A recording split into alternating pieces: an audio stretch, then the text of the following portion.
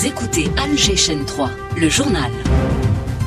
Le président de la République félicite le 7 national après sa double qualification au mondial et la finale de la Cannes 2024 de handball et leur souhaite plein succès lors de la finale. L'Algérie affrontera demain pour sa 14e finale continentale la sélection égyptienne.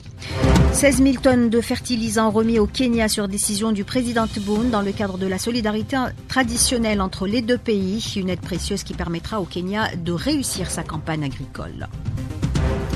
Les regards seront braqués ce vendredi sur la Cour internationale de justice à La Haye qui doit annoncer des mesures conservatoires après la plainte pour génocide à Raza déposée par l'Afrique du Sud contre l'entité sioniste. De nouvelles preuves du génocide des Palestiniens ont été présentées à la Cour pénale internationale. En attendant, le cauchemar des Razaouis se poursuit. L'armée sioniste continue à cibler sans discernement aucun les maisons de Palestiniens, les hôpitaux, les lieux de refuge ainsi que les infrastructures de base. Chez nous, on s'intéresse ce matin au service après-vente, facteur de garantie et de fidélisation du client. Il est souvent pointé du doigt par les consommateurs, pourtant il est obligatoire. Protection du patrimoine national, l'Algérie va déposer à l'UNESCO des dossiers pour le classement du haïk, du zellij et autres genres musicaux algériens au patrimoine universel. Et puis sport football, début ce vendredi de la 15e journée de Ligue 1, trois matchs au programme cet après-midi. Le leader se déplace à Oran. Madame, Monsieur, bonjour. Nous vous le disions en titre, le président de la République félicite la sélection nationale de handball après sa double qualification au mondial et la finale de la Cannes 2024 et leur euh, souhaite euh, et lui souhaite euh, et lui souhaite donc plein succès lors de la finale. Abdelmajid Tebboune exhorte par ailleurs les responsables concernés à mobiliser présentement et à l'avenir tous les moyens au profit de cette sélection afin qu'elle préserve sa performance. Rappelons que le 7 national a arraché sa qualification après sa victoire 32 à 26 sur le Cap Vert. Il affrontera demain à 13h pour sa 14e finale continentale la sélection égyptienne qui s'est imposée face à la Tunisie 30 à 25. Outre sa qualification au mondial, l'Algérie représentera aussi le continent africain au JO de Paris 2024. L'Algérie remet un don de 16 000 tonnes de fertilisants au Kenya. Décision du président Tebboune dans le cadre de la solidarité traditionnelle entre les deux pays. Le don a été remis par l'ambassadeur d'Algérie, Mahi Boumedienne, au ministre kenyan de l'Agriculture. Mitika Lintouri a fait part à cette occasion des remerciements du gouvernement et du peuple kenyan à l'Algérie et au président de la République pour cette aide précieuse dont a besoin le Kenya pour réussir sa campagne agricole. Mahi Boumedienne a mis en exergue la charge symbolique et diplomatique que revêt ce don et qui manifeste la solidarité de l'Algérie avec les pays africains en ces temps d'incertitude politique et économique. Il a également transmis les chaleureuses salutations du président de la République à son homologue William Ruto ainsi que son attachement personnel au développement des relations entre les deux pays. Le ministre de l'Intérieur installe le wali délégué d'Orsar Shellala dans la wilaya de Tiaret. Brahim Mred a souligné à l'occasion que Orsar Shellala possède de grandes capacités pour, euh, par rapport aux dix wilayas précédemment créées dans le sud du pays, ce qui lui permettra de devenir indépendante des wilayas mères. Le ministre a également mis en avant les efforts déployés par les autorités locales pour prendre en charge les besoins des habitants des zones reculées de la wilaya de Tiaret, rappelant au passage que le développement local est au cœur des priorités de l'État. On écoute Brahim Red. À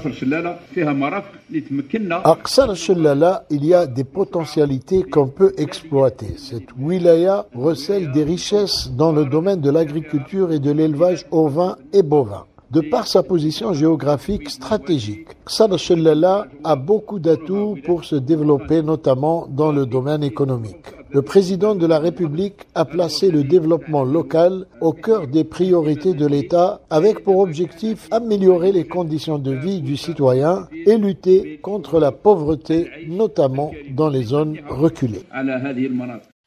Le processus de numérisation des douanes algériennes se poursuit. Ces services ont traité plus de 1650 déclarations au niveau du nouveau système informatique qui connaît une tendance haussière depuis son lancement en novembre 2023.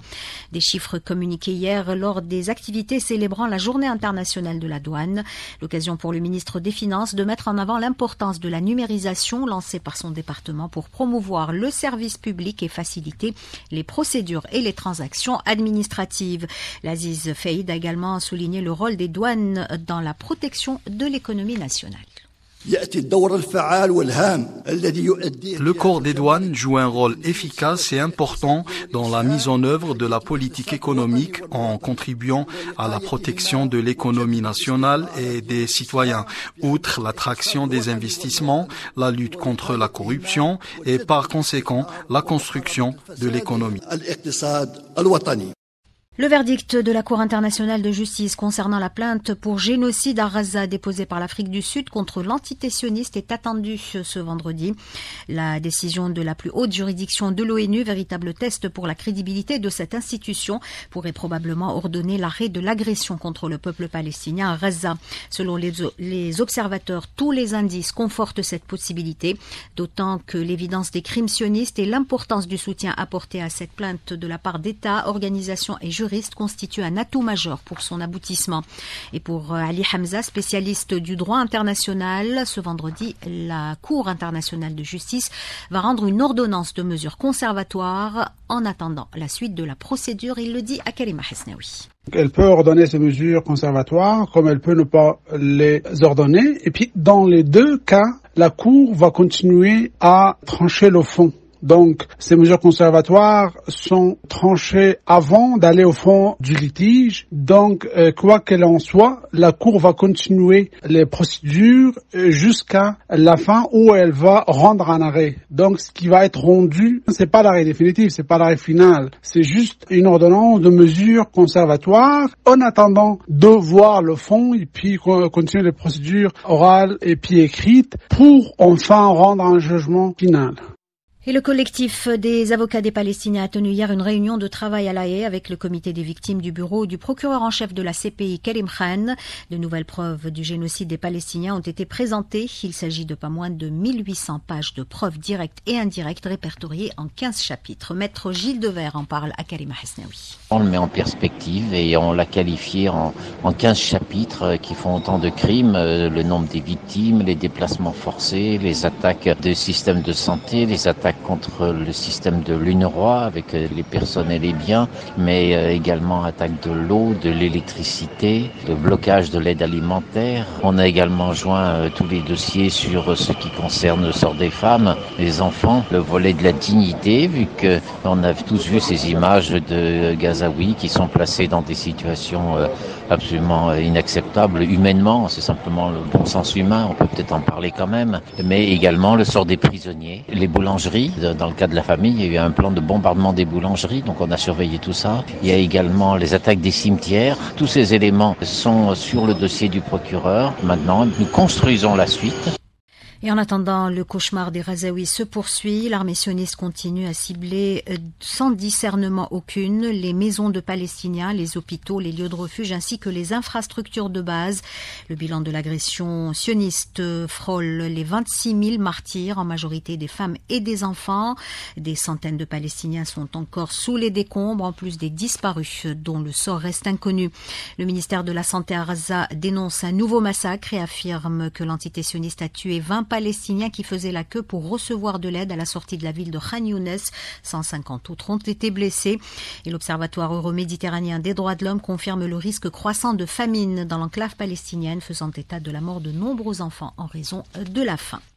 La résistance palestinienne, elle continue d'infliger de lourdes pertes à l'armée sioniste qui reconnaît la mort de plus de 4000 officiers et soldats depuis le 7 octobre dernier, un chiffre bien en deçà de la réalité.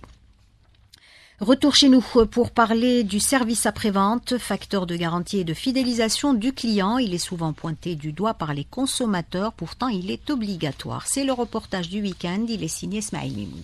Le service après-vente ou ses prestations fournies afin d'assurer la maintenance et la réparation d'un produit. Comment fonctionne ce dispositif lorsqu'il s'agit des produits électroménagers? Les consommateurs algériens sont-ils satisfaits des services après-vente fournis par les différents commerçants? Ils ont été très réactifs. Pour un réfrigérateur, ils se sont déplacés et ils ont réparé. Il fonctionne très bien. En général, les marques installées en Algérie, elles font de leur mieux. C'est une obligation. Problème de la machine à laver. On a appelé le service après-vente. Il n'y a pas de suite. Ils sont même pas venus On a réclamé. Je fais pas confiance au service après-vente. On appelle euh, des techniciens du quartier ou des alentours. Nous nous sommes adressés aux professionnels. Mohamed Tabet est gérant d'un magasin d'électroménager à Alger Centre. Pour lui, à l'achat d'un produit, le contrat de garantie rassure le client du moment que tous les produits risquent de tomber en panne. J'avais un client mécontent par rapport à ça. Ça fait trois mois de ça. Il s'est fait réparer son réfrigérateur. Il y avait un problème qui a été réglé. Un autre problème est apparu. Donc c'était la faute du technicien. Il était trop énervé, tu tombes sur un problème, un deuxième problème, c'est tout à fait normal. Lui on donne un rendez-vous pour qu'il se déplace chez lui. Ce service à client a été créé, c'est justement pour ça. Généralement, à 90%, on est satisfait. Le service après-vente doit être perçu comme un véritable levier stratégique de satisfaction et de fidélisation des clients. Il permet de construire une relation de confiance avec le client et de valoriser l'image de la marque et de se différencier de la concurrence. L'Algérie dispose d'un riche patrimoine matériel et immatériel. Les pouvoirs publics s'attellent à le protéger. Pour ce faire, le ministère de la Culture compte déposer auprès de l'UNESCO des dossiers pour le classement du haïk, du zellij et autres genres musicaux algériens au patrimoine universel. Une rencontre sur la révision des textes juridiques concernant la protection de notre patrimoine a eu lieu hier. Fatah Boumehdi pour le détail. Lors de cette rencontre, la ministre du secteur Soraya Mouloudji a annoncé le dépôt au mois de mars de plusieurs dossiers au niveau de l'UNESCO vous le savez, euh, le principe euh, au niveau de l'UNESCO, c'est de déposer un dossier par an, par pays. Cette fois-ci, nous avons exceptionnellement travaillé sur un certain nombre de dossiers et nous allons classifier par la suite l'ordre de priorité pour chacun. Donc, il s'agit du dossier sur le hayek, le zellij, la tenue kabyle et les accessoires euh, aussi. Un certain nombre de genres musicaux aussi, tels que l'ayay et l'eshouiq et le algérien. L'Algérie est un musée à ciel ouvert, nous dit Adel Wafia, directrice de la division archéologique au CNRA. Là où il y a des projets de développement, là où on creuse pour élaborer un grand projet, on trouve des vestiges. C'est dans le terrain que nous trouvons des obstacles, des vides juridiques. Et donc pour la protection, réviser cette loi qui date quand même mine de rien de 25 ans. Selon Hassan Melkia, président du Conseil national de l'ordre des architectes, il faut revoir l'approche en elle-même. Préserver tout notre patrimoine architectural. Si on n'est pas présent, tout le monde va avoir notre place. C'est comme ça. Donc euh, les hautes autorités de l'État, ils ont pris l'identité nationale comme priorité. Et on est là. Les professionnels euh, sont là, les, les administrateurs sont là. Les résolutions seront communiquées par le ministère de la Culture et des Arts prochainement.